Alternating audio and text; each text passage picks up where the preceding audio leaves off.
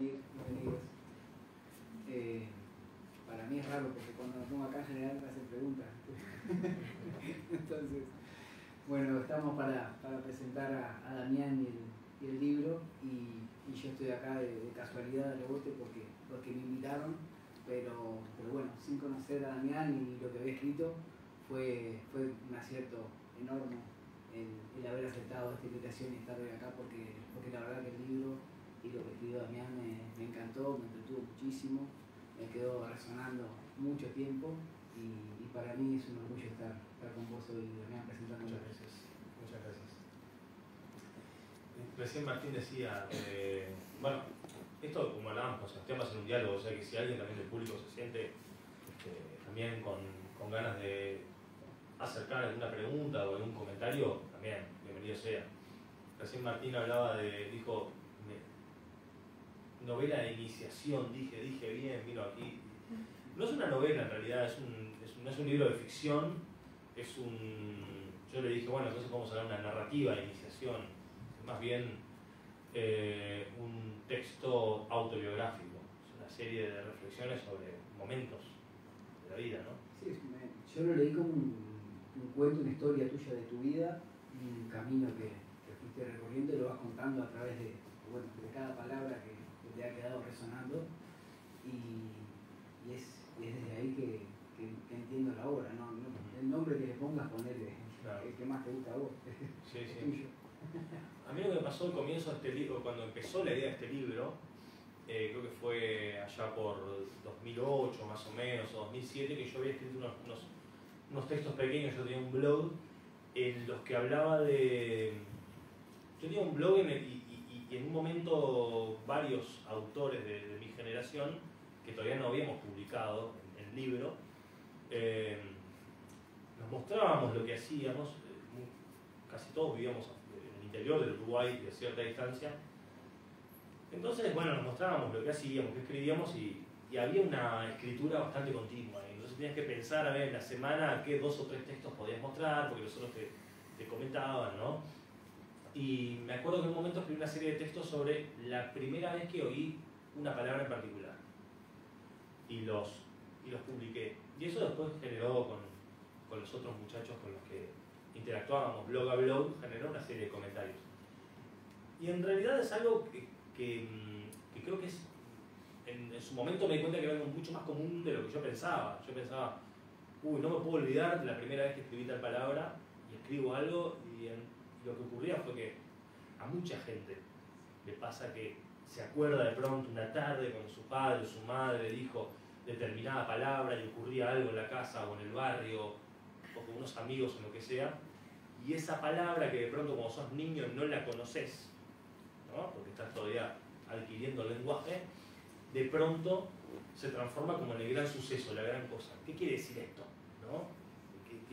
¿Qué, qué, qué pasa todo alrededor y de pronto aparece esta palabra? ¿Qué es? ¿no? Queda, queda, la palabra como en, siempre aprendes una palabra, pero queda en un, en un contexto que la aprendiste. No la aprendiste sola, no aprendiste nada. Y te viene además con una emoción, con... Te quedas con esa historia, además. Esa, esa palabra ya no es solamente la palabra del diccionario, sino que es la palabra de de, de, una historia de tu vida, una fracción de tu vida, ¿no?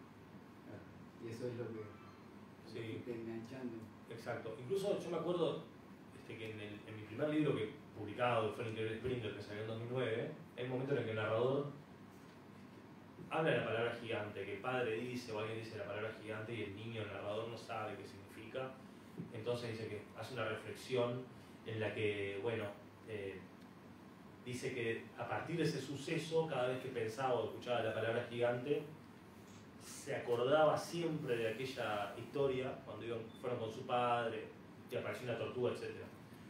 Yo creo que ya estaba pensando en eso, ya estaba pensando en escribir una serie de textos este, con ese motivo, ¿no? Ya ibas, ya ibas por ese camino, el internet está, está muy, muy lindo la, sí. el, el, cuento de ese, me, me encantó.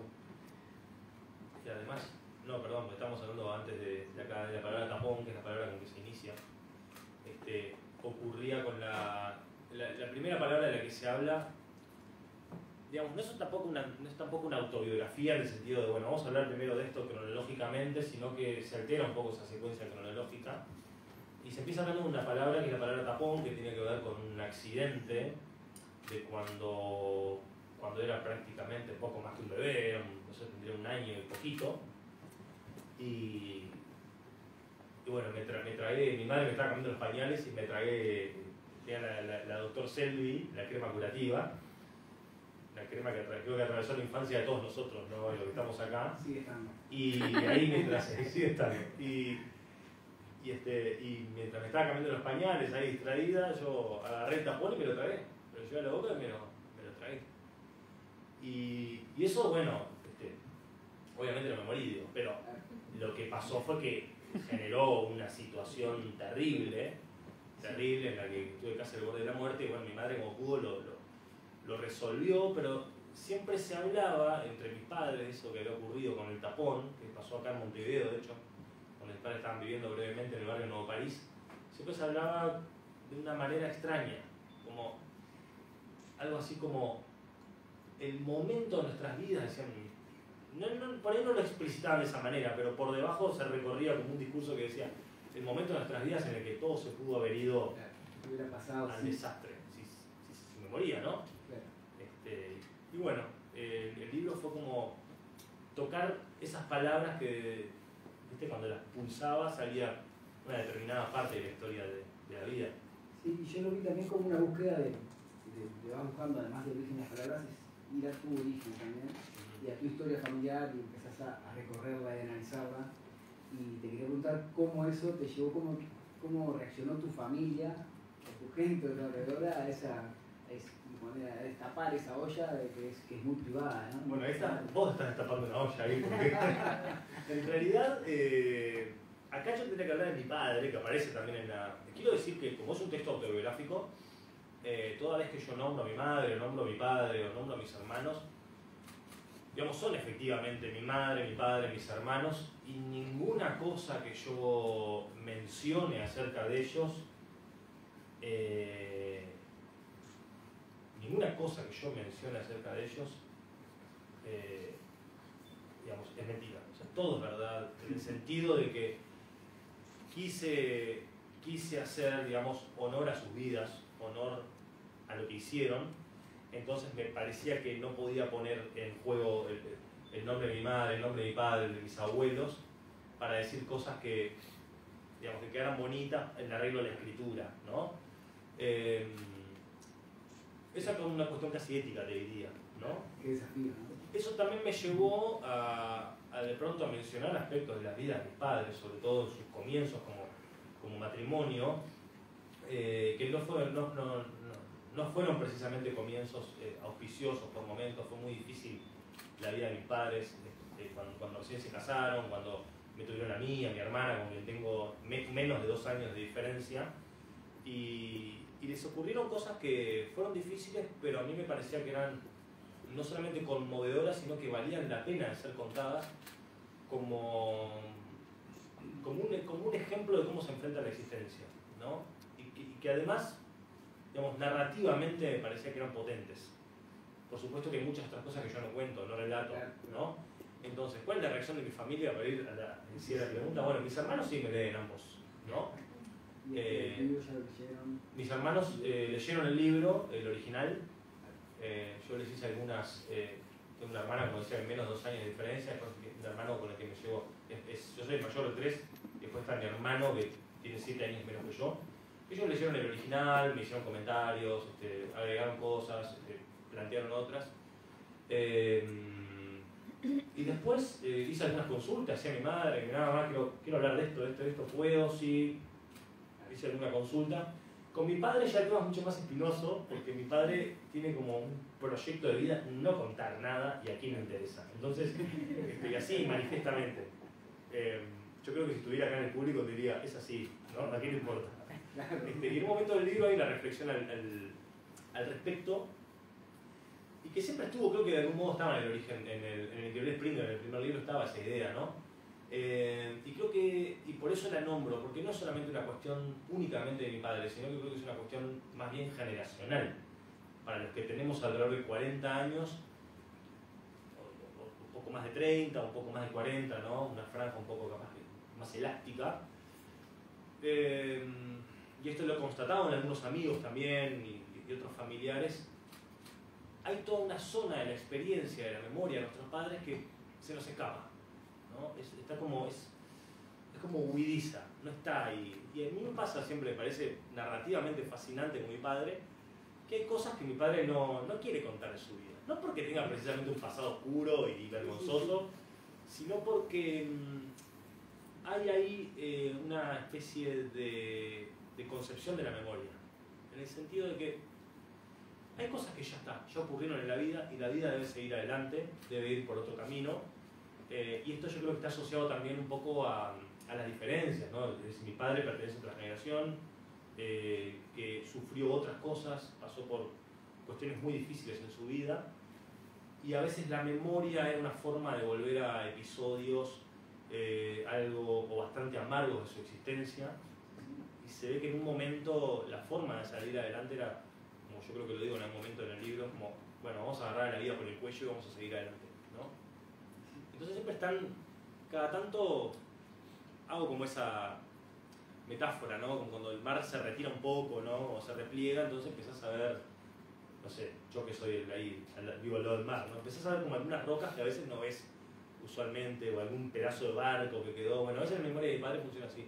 Algunos días es como un mar que se repliega y ves algo y decís, papá, mirá esto, y te cuenta algo.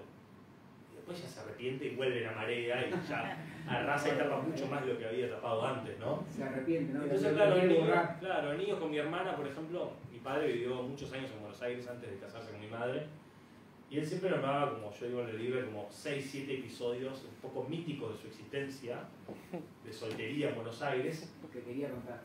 Dale, sí, dale. No, no, ah, no, no, no.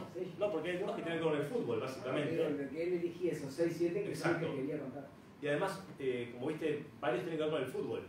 Porque mi padre, este, que es hincha de Peñarol, cuando se va a vivir a Buenos Aires, este, se hace hincha de River, él trabajaba pintando paredes, terminando las construcciones, ¿no?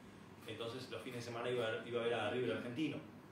Eh, cuando iba a ver a River, él se apasionó por un jugador que deben haber sentido nombrar más de una vez, que es Norberto Alonso, fue histórico número 10 de River, quizás el, el ídolo de River antes de Francescoli. Eh, y él iba a ver a, Norberto Alonso. Cuando River de pronto viajaba, iba a La Plata o a Rosario, mi padre iba a ver a Vélez, y en Vélez él iba a admirar al 9 de Vélez, que fue Carlos Bianchi. Carlos Bianchi que para ese dice que fue el mejor cabezador que ve en la historia del fútbol, ¿no? Entonces eso me sirvió a mí, yendo como a lo, de la identidad, dije, pero ¿por qué nunca cuenta cuándo vivió? Dije, listo, voy a investigar cuándo jugaron esos jugadores de fútbol en, River, en Vélez, cuándo fueron transferidos, y ahí más o menos pude datar la época en que mi padre vivió en Buenos Aires, antes de que los transfirieran ambos a Francia. Entonces, este, pero siempre estaba esa cuestión de la memoria, ¿no? Es lo que pasa que, yendo a lo más amplio, la memoria es tan frágil y además es, es móvil, cambia mucho con tu estado de ánimo, lo vamos armando y cada vez que lo contás le agregás algo, te borraste otra cosita. Exactamente. Entonces, Entonces eh, sí, bueno, mi, mi, no sé, de repente mi padre yo le digo, mira, papá, escribí esto sobre, sobre tu memoria y eso.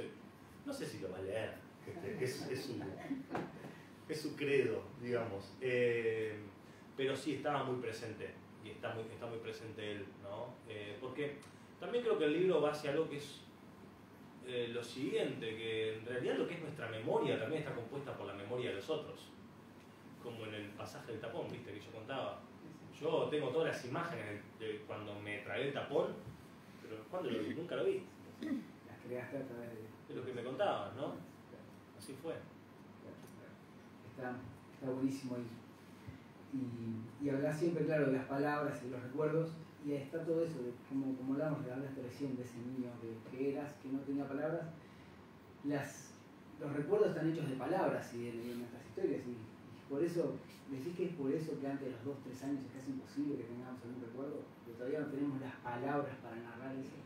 Bueno, yo a mí me metería en un terreno que para mí es un poco difícil, porque es de repente el de la psicología, y, pero probablemente mis primeros recuerdos, no sé, qué, piensan los que están acá. Eh, los míos no sé si se remontan mucho más allá de cuando tenía cuatro años o, o, por ahí, ¿no? Y también esas, esas primeras este, tentativas con el lenguaje, aprender las cosas, ni hablar la escuela, cuando te dicen cómo hay cómo hay que hablar, cómo hay que decir las cosas, cómo hay que escribir, cómo agarrarse el lápiz. Este, para mí fue muy importante, por ejemplo, es decir, acá se habla de, la vida, pero también de, la, adquisición del lenguaje. Creo que nuestra vida también se va armando, la historia de nuestra vida es un poco también la historia de cómo nos llegan determinadas palabras, cuando esas palabras tienen que ver justamente con, relatos. Normalmente tienen que ver con la familia, con tu barrio y eso, ¿no? Y también con la escuela. Sí, esas cosas que, te marcan sin, tener vos nada que ver, ¿no? Exacto. Y a lo que iba después, que te quería preguntar también, que claro, vos contás en el libro que no venís de una familia de letras, no. y, bueno, ¿dónde, ¿dónde te parece a vos o dónde sentís vos que surge esa, esa vocación? ¿Viene contigo, sale de casa, la notás afuera? ¿Qué es lo que nos lleva a tomar esas decisiones? Yo, vos? Sí, yo no sé qué piensan los demás, pero para mí a veces es no sé, de repente uno se dedica a algo y eso es después el eje de su vida cotidiana, ¿no? Profesión, lo que sos, lo que haces. Eh, y uno a veces intenta explicarlo, decir, bueno, esto ocurrió porque me, crucé en la calle o me encontré con tal persona, o vi un tío me dijo. Pero yo a veces he, pensado que quizás es un poco más misterioso, y esto no es por darle un, ¿verdad? Como un barniz de justamente de algo sobrenatural a la cuestión, pero muchas veces he pensado qué es lo que nos lleva a veces en determinados momentos de nuestras vidas a pensar que elegimos un camino en vez de otros, Tendemos a explicarlo, a explicarlo armándonos un relato. Yo suelo decir que eso tiene que ver cuando, por ejemplo, murió mi, mi abuelo paterno, Bertolino, que vivía acá en Nuevo París, este, que por cierto se, quedó muerto en la vereda.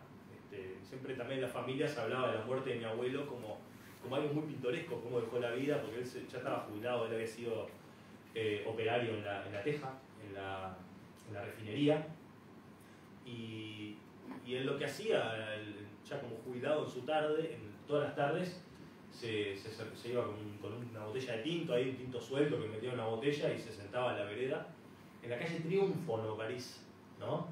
Eh, que es una calle creo que tiene una cuadra un poco más. Este, y él se quedaba ahí en la vereda, se apoyaba, se, sentaba en una silla que tenía, se apoyaba en una columna, se ponía a tomar su vino, saludaba a los vecinos y siempre se hablaba con un poco de, con un tono este, medio entre macabro y tragicómico porque mi abuelo eh, falleció ahí sentado, tomando vino y saludando a los vecinos y, parece que los vecinos demoraron como dos horas en darse cuenta que había muerto porque él solía quedarse dormido de tomar vino ahí en la vereda. Entonces decían, ya quedó ahí Bertolino en pedo, ¿no? Al que lo entra. Y claro, como veían que ya nadie lo entraba, y ya estaba haciendo fresco, el tipo seguía ahí, y alguien que hizo, lo tocó. Y cuando lo tocó, dice, no, ya está, después del mundo, ¿no? Entonces, cuando muere mi abuelo Bertolino, eh, bueno, mi madre va al funeral, fue sola, era, medio difícil viajar, también las comunicaciones eran otras. Nos deja a mis hermanos y, a mí con, con, mi padre y ella viaja, bueno, todo ese periodo de mi abuelo. Y, y, yo siempre suelo armar toda esa historia, ¿no? que, que, que, me acuerdo tal cual. En mi casa no había libros, no había libros. Se suponía que había el Altillo, que eran mis abuelos paternos, esa casa antes, se suponía que había un ejemplar de Cien años de soledad. Y era como una especie de este, de fantasía, como una, siempre que yo siempre asocio, creo que también estaba estudiado más o menos así, el altillo en las casas, igual que el sótano, es una especie como de inconsciente en una casa, ¿no? Guardando cosas que a veces no queremos tener a mano, no sé, las queremos dejar aparte, por fuera de la vida cotidiana, ¿no? Se suponía que había un ejemplar de 100 años de soledad por ahí tirado en el altillo, bajo una montaña de cachivaches, un altillo aparte muy estrecho, muy caluroso, que estaba ahí contra la planchada, eh, que, que, encontré como décadas después, limpiando eso, y estaba todo ajado, las páginas hinchadas de humedad, y al final existía, eh, pero en mi casa no había libros. Entonces, este, yo, bueno, algunos los encontraba en la escuela, y cuando muere mi abuelo, mi madre viene con esa bolsa típica de la ropa que a tus primos ya le queda, no, no, no le entra, entonces se la van pasando los primos. Y ahí en medio del fondo mi madre dice, ah, hay unos libros que también manda tu tía, ¿no? y siempre cuento que bueno, estaba Platero y yo, de Juan Ramón Jiménez, estaba El Corazón del Mundo de Amichis, estaba una novela que después con el tiempo me, seguí leyendo con mucho fervor, que es un escritor de Melo llamado José Monegal, se llama Memoria de Juan Pedro Camargo, que es como su Juan el Zorro, la leía, no la entendía, no sabía qué era esa novela. Después la releí. Y además estaba un libro que, de un autor en particular que me, acompañó toda la vida, me va a seguir acompañando, creo que es Juan José Morosoli. El libro se llama Perico, que era un libro clásico para niños, que además en la, en la dictadura, que había sido muy reciente, había sido prohibido en las escuelas. Este, Perico, entonces yo tenía una edición de Perico que quién sabe, capaz estuvo escondida mucho tiempo por la dictadura, porque no era una edición de los 80, creo que era anterior. Y para mí fue, este, bueno, un, deslumbramiento ver esos libros ahí. Yo me explico un poco esa pasión por, por leer vinculada con esos libros que aparecieron, porque mi memoria, digamos, construye eso de una forma en la que se pueda hacer un relato que sea, digamos, comprensible, ¿no? Pero quién sabe, no sé de dónde llega eso. Esa explicación es posterior al impulso, claro. Y esa ¿La generaste antes o la encontraste mientras escribías, mientras buscabas tu historia? ¿Esto te ayudó a aclararte? ¿Qué, sentiste vos que al, buscar y lograr tanto en tu pasado, en vos, en, bueno, en, explicar tus impulsos, tus actos, tus decisiones? Mira, me gusta que me preguntes eso porque había cosas que yo ya tenía más o menos claras que quería decir antes del libro. Por ejemplo, bueno, esa historia que yo tenía. A veces cuando me hacía una entrevista o algo, bueno, ¿cómo empezaste a leer? ¿Cómo llegaron los libros? Siempre cuento lo de esa bolsa a veces me parece un poco insuficiente, ¿no? Porque capaz que estaban esos libros en la escuela, esas primeras lecturas. Hay un episodio de la escuela que para mí es determinante, que a mí me descolocó como estamos aprendiendo a escribir, que aparece en el libro acá, y que tiene que ver con la letra ahí. Pero también pasó con este libro que me di cuenta de cosas, sí, sin duda. Me di cuenta de, o digamos, calibré o, o cobré conciencia de la importancia que tenían de pronto algunas cosas eh, que ocurrieron en nuestra existencia, en mi familia, y que, digamos, no me he dado cuenta de la importancia que tenían hasta escribirlas, por ejemplo. Muchas de ellas tienen que ver con, también con, con la vida familiar de mis padres para atrás, ¿no? Felizmente a mi padre se le ocurrió ser el árbol genealógico de mi familia, de su línea, ¿no? Mi padre viene de una familia de San Carlos, mi padre es carolino, es de San Carlos, mi madre es montevideana, y mi padre, a mi padre se le ocurrió eh, pagarle a alguien para que hiciera el árbol genealógico de los barrios. Es un apellido bastante conocido en la ciudad de San Carlos este, y que ha dado, por ejemplo, gente de determinado renombre, como por ejemplo el senador Barrio Estazano, por ejemplo, este, jugadores de fútbol. Eh, y es un apellido que se remonta a, a, un lugar llamado Astorga, en León, en España, más o menos a fines del siglo XVIII. El apellido eh, era del barrio y ese primer del barrio se viene a vivir a Uruguay, termina viviendo ahí entre Rocha, San Carlos, dos generaciones más tarde, en, este, en, Uruguay, en las partidas de nacimiento ese apellido del barrio se desplaza y empieza a aparecer como barrios. ¿no? Y mirando el árbol genealógico, eh, me di cuenta de algo, que, digamos, siempre esa, esa línea paterna que suelen ver también los árboles genealógicos, eso es otro tema discutible también, por supuesto, ¿no? Que había un del barrio que fue el primero que se vino a Uruguay, el hijo, mejor dicho, del que se vino a Uruguay, eh, que se casa. Y cuando se casa, eh, tiene, este, tiene un hijo con su esposa, ese niño muere. Tiene otro hijo, y ese hijo muere tiene otro hijo y ese hijo muere, no solamente muere el hijo, sino que muere su esposa. O sea, fue una tragedia completa que uno podía leer en tres, cuatro cifras que estaban ahí en el árbol genealógico. Se casa de nuevo y muere su esposa también, sin que tengan hijos. Se casa en terceras nupcias y ahí tienen más o menos unos 16 hijos. O sea, está, la, revancha, vamos a decir, Y esto que suena como tragicómico, ¿no? Me hizo ver algo que después vinculando esos datos fríos, que eran algunos perfectamente interpretables, como este primer del barrio, nacido en Uruguay, eh, cuya vida, a través de las cifras, uno leía que hubo un componente trágico tremendo, absolutamente tremendo, que fue un hombre que tuvo experimentado un dolor impresionante. Y después me di cuenta y empecé a unir eso con determinados relatos familiares en los que estaba siempre presente eh, la tragedia, ¿no? La idea de algo que estaba por pasar que era terrible. Me acordé de mi abuela, la madre de mi padre, que era una mujer para quien siempre eh, estamos viviendo en la inminencia de algo terrible que estaba por suceder. Entonces me acuerdo de mi abuela, le decían la beba, llamaba, llamaba, eh, tenía tres nombres, María Nélida Seferina, Barrio González. Aparte mis, mis abuelos eran primos. Hoy no se estila tanto hablar con tu prima, ¿no? Pero en una época, no sé, depende de dónde, ¿verdad? Eh, bueno, si lo contás en las redes sociales no sé cómo queda, pero bueno. Este, y mis abuelos paternos eran primos, o sea, mi padre es hijo de dos primos, ¿no? Mi, mi, abuelo era González Barrios y mi abuela era Barrios González. Historia de tragedia viene con... Y mi abuela, yo me acuerdo, uno de los primeros recuerdos de mi abuela, que un día entra a mi casa, mi, abuela cada tanto estaba peleada con mis padres, porque era una, era una persona bastante particular, tenía un carácter, este, era muy, muy maledicente mi abuela, era muy, pícara, ¿no? Este, era muy de llevar y traer, entonces había épocas en las que mis padres directamente la radiaban de la casa. Y mi abuela se bajaba lo mismo, pasaba por la vereda al frente caminando y ni miraba. Y con mi hermana la mirábamos, ¿sabes pasa la otra abuela? Este, y me acuerdo de mi abuela entrando a la casa un día y entra, mis padres tenían un bar y abre la puerta del bar y dice, se viene la radioactividad Uruguay, vamos a morir, radioactividad.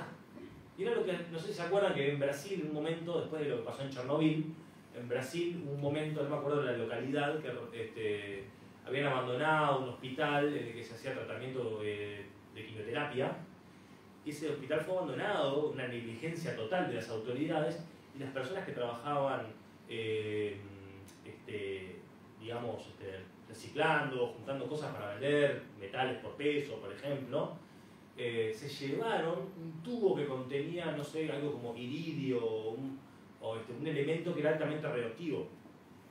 Y lo vendieron y después alguien que lo compró en el barrio le encantó ese material y dijo, voy a alcanzarlo, voy a romper esta cápsula de seguridad porque le quiero hacer un anillo a mi esposa con eso. Entonces lo rompió, sacó el elemento, empezó como a martillarlo porque brillaba, ¿no? Después su hija lo agarró, se lo llevó al patio. Este, bueno, fue una tragedia tremenda, fue una tragedia tremenda eso que pasó en Brasil. Y en ese momento, que no sé si ustedes se acuerdan, ahora no pasa mucho, creo, pero había mucho bagallero antes, gente que andaba con un carrito de pértigo por, por los barrios, por, supongo que hemos tenido también por los barrios, este, en el interior era muy común el bagallero que llegaba de pronto a fin de mes o a comienzo de mes este, con las cosas que veía el Chuy, o de más adentro, algunos que vienen de Paraguay, por ejemplo. Y en un momento eh, hay uno que casi se fundió porque nadie le quería comprar nada porque venía de Brasil. Y lo que estaba en Brasil estaba todo contaminado por la radioactividad, se decía. Entonces el tipo que se hacía su gran jornada vendiendo la manteca primor, por ejemplo, la la margarina, ¿no? Este, nadie le empezó a comprar, nadie le compró garoto, nadie le compró rapadura, nadie le compró las bebidas, los cigarrillos. El tipo casi se fundió, porque en el saber popular estaba que todo lo que venía de Brasil era, estaba todo contaminado por la radioactividad. Me acuerdo de mi abuela entrando en la casa y diciendo, ah, nos vamos a morir todos porque pasaron en la tele y este, aparte mi abuela tenía también toda una cuestión medio como de delirios místicos a veces, decía que veía a Jesucristo, entonces como que lo juntaba con eso. Y un día me di cuenta, escribiendo, vuelvo a tu pregunta, hablando de la palabra radioactividad que la sentí por primera vez de boca de mi abuela, entonces eso me permitió también en el libro decir, este, bueno, eh, acá hay una historia, me di cuenta que esa conciencia trágica de la existencia ya la había empezado a ver, a ver en el árbol genealógico, ya la había detectado y estaba también la historia del padre de mi abuela, de mi bisabuelo, que había peleado en la guerra del 4, del bando colorado, eh, había historias acerca de que no se había portado muy bien con mucha gente, estaba ahí.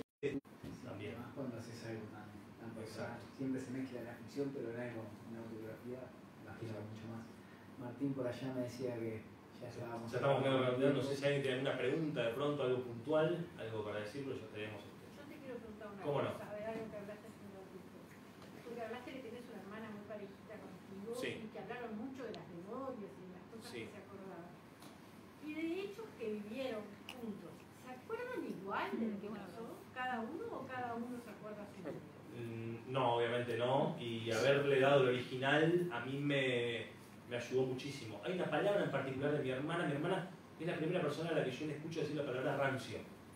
Mi hermana se había escapado, mi hermana y yo los, los escapamos a espiar vecinos. Los subíamos, los, los mirábamos, este, mi hermana se escapa a, a, espiar unos vecinos y ve una imagen bastante conmovedora de una familia y viene con la palabra rancio. Nunca la había escuchado yo en mi vida. Yo tenía nueve, yo tendría siete, o casi por cumplir ocho. Y, este, fue muy interesante cuando ella leyó el original y leyó lo que yo recordaba de cuando ella dijo la palabra rancio y lo que ella después me comentó. Que de algún modo tuve en cuenta también, ¿no? Para, digamos, ajustar algunas cosas del texto.